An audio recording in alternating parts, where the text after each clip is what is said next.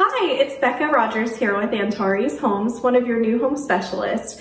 As a new home specialist, we get so many questions about what is the process of building a home. So we thought we'd take a few moments today to go through the different steps to hopefully answer some of those questions for you.